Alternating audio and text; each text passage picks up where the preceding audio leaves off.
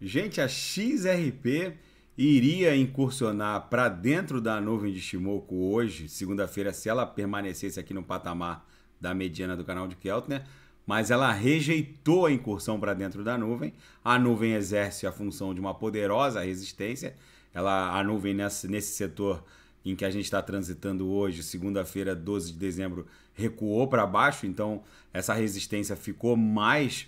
É, recuou um quadrante para baixo, então é, a XRP re, rejeitou. A primeira tentativa normalmente é de rejeição, a partir da segunda, terceira tentativa fica mais factível a incursão para dentro da nuvem. Então vamos ver como vai se comportar o candle de amanhã.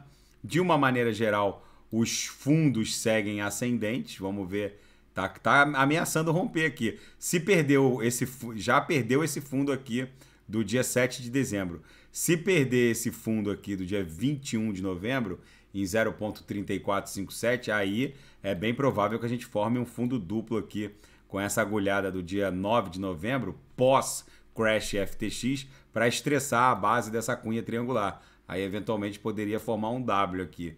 Vamos ver como vai se comportar o candle de amanhã que tem condições de concluir essa incursão para dentro da nuvem que está ofertando uma resistência brutal agora para XRP. A nebulosidade ganhou um pouquinho de espessura de ontem para hoje, o que indica que os vendedores ainda estão no controle da XRP. As três linhas do canal de Keltner seguem levemente emborcadas para baixo, mas não, não com muita agressividade a XRP precisa entrar dentro da nuvem para embolar aqui, formar uma figura de acumulação e voltar a estressar a aresta superior no patamar de 0,46, 0,47, podendo eventualmente romper se, se, se a própria BTC buscar 18,200, 18,300. Tudo também depende de como a BTC vai se comportar, já que a XRP depende muito do comportamento da BTC. Mas de uma maneira geral, a gente segue acumulando. É bem provável que a partir da segunda, terceira tentativa, a gente incursione para dentro da nuvem